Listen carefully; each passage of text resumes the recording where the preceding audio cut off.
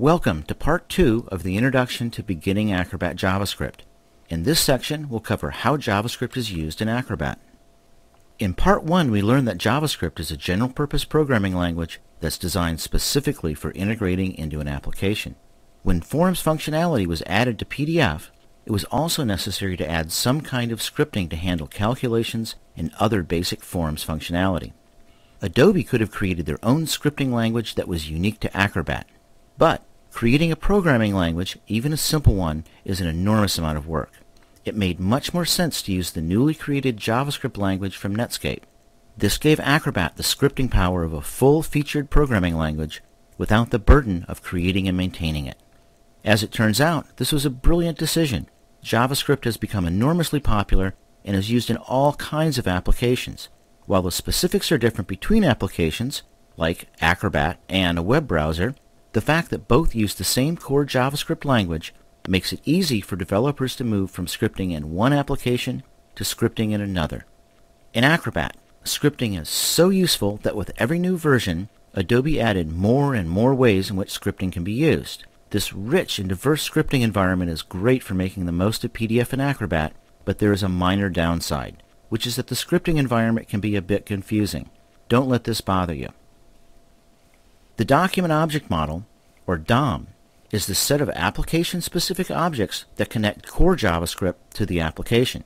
In Acrobat 3, the DOM was very simple, only seven objects, and it was focused mainly on forms. But of course, scripting is useful for all kinds of things, and by Acrobat 7, there were over 75 objects that covered a large range of Acrobat and PDF functionality. And it continues to grow today with every new version of Acrobat. But all this growth comes with some issues, mainly version incompatibility. To use newer functionality, all your users have to have a newer version of Acrobat. Basically, you write scripts to target the lowest version you expect your audience to have. Occasionally, Adobe also changes how existing functionality works usually for security reasons. This means, for example, that a script written in Acrobat 6 might not work in Acrobat 7 or later. This isn't a big issue. These kinds of changes typically affect only a small subset of full JavaScript functionality, but it's something to be aware of. Scripting in Acrobat breaks down into two major areas, automation and document interactivity. Automation scripts are used to increase productivity by automating repetitive or time-consuming tasks, or by applying the same operation to multiple documents. These scripts live on the user's system and are associated with the Acrobat application, not with any PDF file. Automation scripts are activated through custom toolbar buttons, menu items, or through a batch process. Scripts for controlling interactive or dynamic document features live inside the PDF file, and are activated through PDF events like pushing a button or entering text into a form. These two areas of scripting are conceptually different, but there's no hard line between them. Both use many of the same DOM objects, and scripts can be written that combine concepts from both areas. So, what specifically can we do with scripting in Acrobat? The number one use is, of course, for forms, performing calculations, formatting and validating data entered into fields, resetting and submitting forms. But there are also many other uses that are not specifically related to forms, such as displaying alerts to the user, navigating within a document, displaying any number of specialized user interface items like menus and pop-up boxes, and for creating visual effects like changing the background color of a form field, plus many other types of actions, just about anything you might want an interactive document to do. In the area of automation, there are functions for opening and saving PDF files, creating new PDFs, inserting metadata, adding document features such as form fields, bookmarks, and watermarks.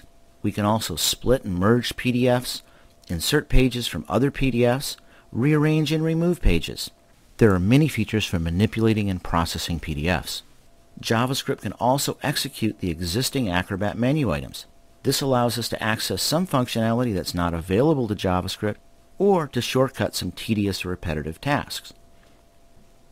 There are some areas of Acrobat functionality that can only be accessed with JavaScript. There's no user interface for these.